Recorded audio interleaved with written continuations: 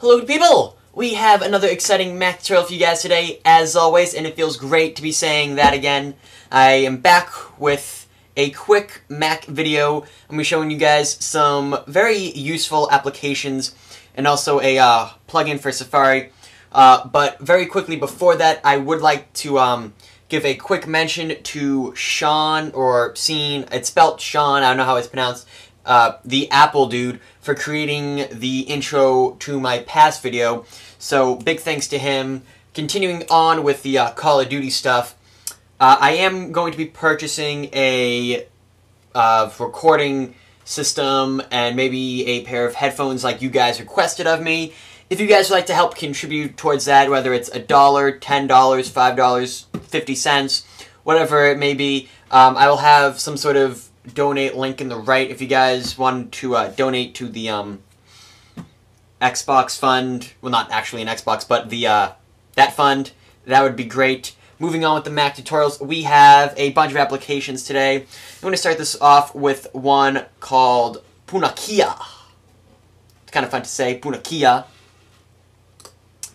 And Punakea is an actual way, better way to organize your files on your Mac. And also what's really cool about this is that it adds tags uh, to the Spotlight search.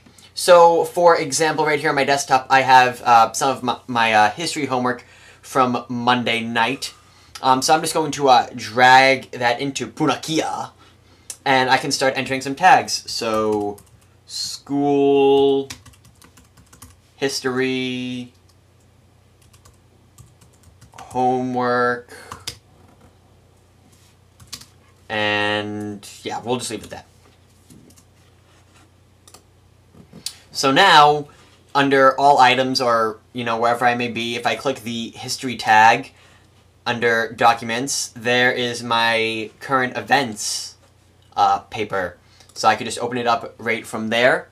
Also, another really cool feature, let's say I was on the internet and let's say I was on my website looking at some of my fabulous wallpapers.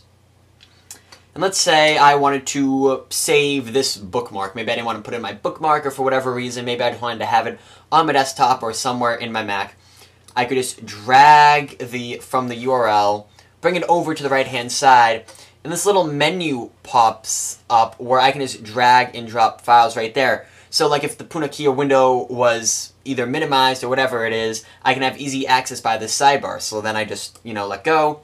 The tagger opens up and I can, you know, Mac OS X, tutorials, um, wallpapers. And I can do that. So right now I have two files in here. And now, let's say I wanted to search them in Spotlight. Maybe I wanted to bring up my history homework again. I would open up Spotlight and I could type history homework. And right there, you guys will see that the first one is my current events. So all I would have to do is just click that. So that's really cool that it adds tags to Spotlight. And that is it for Punakea. That's the first application. Again, links to all these will be in the sidebar. Moving on, we have iBackup, and it has to do with what's in the title. It backs up. Um, if you guys have ever used Time Machine, which I'm sure most of you guys have, you guys know that there are practically no features at all. And iBackup can really get into depth when it comes to uh, backing up your files. What's really cool about this is that you can choose what to back up and what not to back up. I know for me, because I have a lot on my iMac, that takes an extremely long time backing up stuff that hasn't even changed. Like, for example, my, you know, may, maybe my pictures don't change that much and I don't want them to be backed up. Maybe I have a bunch of files in there and it can take up a lot of time. All I would have to do is just not check it and then it wouldn't back up.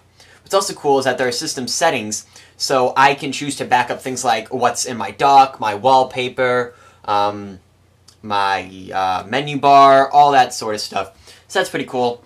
And if I wanted to go into preferences, there is a little uh, scheduler right there that I can, um, I guess, tell when I want my computer to back up. I made a video on kind of probably the most coolest way to back up your computer ever, so I'll have an annotation to that. Um, but that is iBackup, pretty simple application. Uh, the next one is called Magic or MagiCal. I'm assuming Madge is the abbreviation for Magic. And it actually sits up in the menu bar right here between the time and the spotlight. And all it is, it's just a miniature calendar. So if I were to click on it, a calendar would drop down um, with the dates, and I can just kind of scroll through that quickly. Um, I can also click this and I can um, make it a charcoal design, giving it a darker background. But there's also some pretty cool stuff in the preferences too. Um, there's a time, I can actually have this display the time. Then I can have the date and calendar, and I have miscellaneous things and all that. But it's actually a really nice thing just to have in your um, menu bar in case you don't want to have to constantly open up iCal. And for people that would um, not want that in there, I'll show you guys quickly how to uh, get rid of that. Just open up terminal and type kill all Madge iCal. And there it is there. Now it's gone. And this final application is called iTunes Alarm. Again, in the title, it is an alarm system for your Mac um, that works hand in hand with iTunes.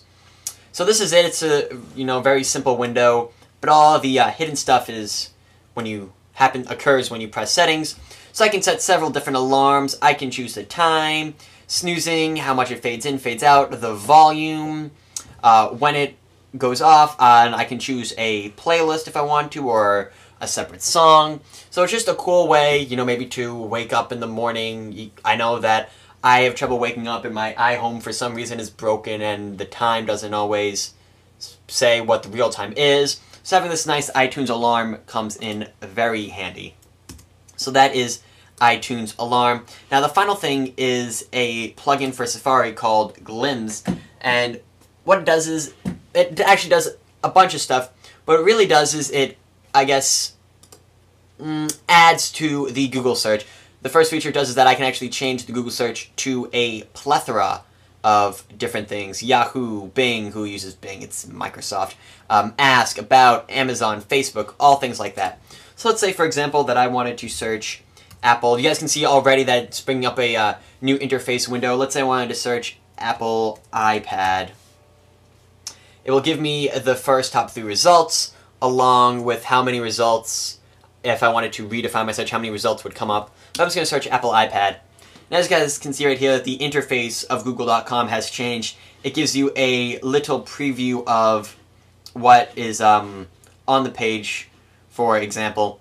So there are also a bunch of other features that come with um, this plugin. And that's pretty much it, guys. Uh, four applications, one plugin. Uh, all these links will be in the sidebar um, along with everything else I mentioned. It's great to be back doing Mac tutorials, guys. I will have another one either coming this weekend or Monday, so look forward to that. Hope you all enjoy this tutorial. My name is Matt Fisher, and take care.